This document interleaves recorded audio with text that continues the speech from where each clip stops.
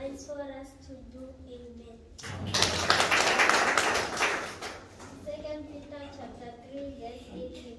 But grow in the grace and the knowledge of our and Savior, Jesus Christ. To him be glory, both now and forever. Amen. 7 verse 1.